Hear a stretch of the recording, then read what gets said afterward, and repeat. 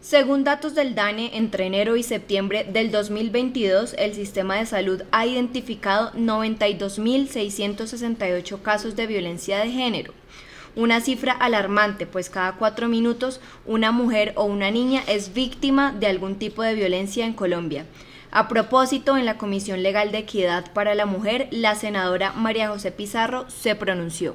Más de 500 mujeres han sido asesinadas en nuestro país con una población de 51 millones de habitantes. Estamos hablando de un aumento exponencial de los feminicidios en nuestro país. En medio de la pandemia, a pesar de las denuncias, no existió una sola medida con enfoque de género.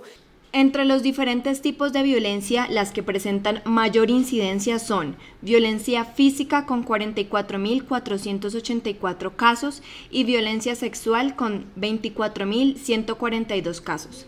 En el año 2021 se presentaron 18.726 denuncias con exámenes médico-legales por presuntos delitos sexuales a mujeres donde el 80%, cerca de 15.000 niñas, están entre los 0 y 17 años. Colombia tiene una gran oportunidad de revertir este flagelo contra las mujeres y las niñas con el actual proceso de construcción del Plan Nacional de Desarrollo, en el que existe la oportunidad de que sea incorporado un capítulo de género que garantice los derechos de las mujeres y la igualdad.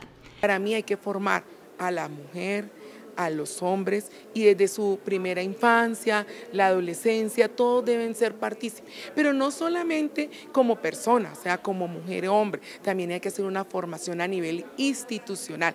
La ONU invita a unirse activamente para poner fin a la violencia contra las mujeres y en el marco del 25 de noviembre, Día para la Eliminación de la Violencia contra las Mujeres, las Naciones Unidas hacen un llamado a la acción mundial para generar conciencia e impulsar esfuerzos para acabar con la violencia contra la mujer.